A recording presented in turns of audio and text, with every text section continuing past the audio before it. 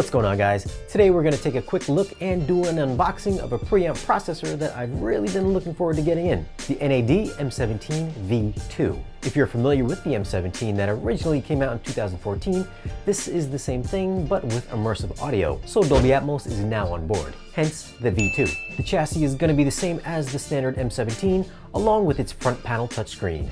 If it ain't broke, don't fix it, right? Now before we get into it, if you've got a passion for audio and video gear like this pre-pro or want to keep up with the latest in highest quality movies at home, consider becoming a subscriber for new weekly content. Alright, let's unbox it.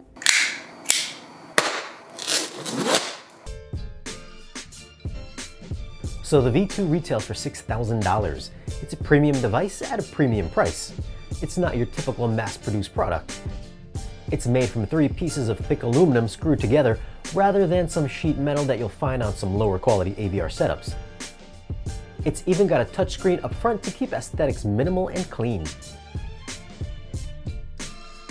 So first impressions. This is by far the nicest processor I've had in my rack.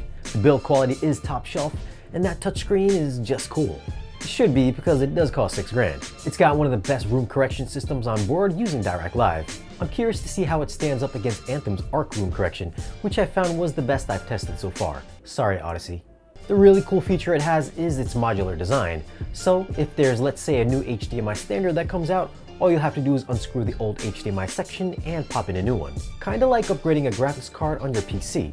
So that should keep you future-proof for a little while, depending on how good the processor is of course. It's got support for a 7.1.4 setup, but it's missing DTSX. 6Gs and no DTSX? Per the website, it will be getting a firmware upgrade. Fingers crossed that it's sooner rather than later. Okay, okay, I just wanted to keep this brief and not go in too deep, but if you guys are interested in checking out the full review, we'll be posting it over on the Audioholics channel in the coming weeks. If there's something you think we should cover in the video, just leave us a comment down below. Be sure to like and share the video, and if you want to see more videos like this, be sure to subscribe. Thanks for watching, and we'll see you guys again in the next one.